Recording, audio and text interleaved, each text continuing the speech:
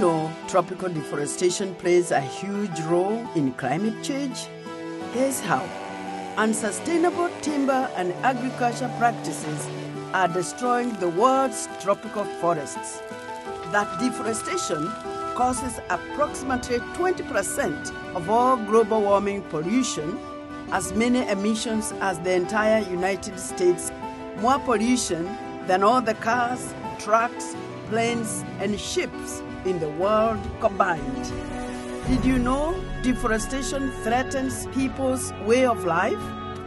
Forest dependent communities want to protect their livelihoods, but bulldozing and burning tropical forests displaces people and threatens their survival and security.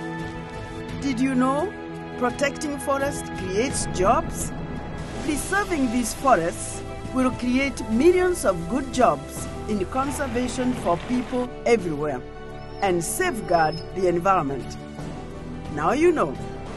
We can only solve the climate crisis by solving the tropical deforestation crisis.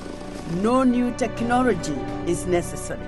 No new systems need to be invented. It's cost effective, it's truly important, and it's really simple. Save the forests and save the climate.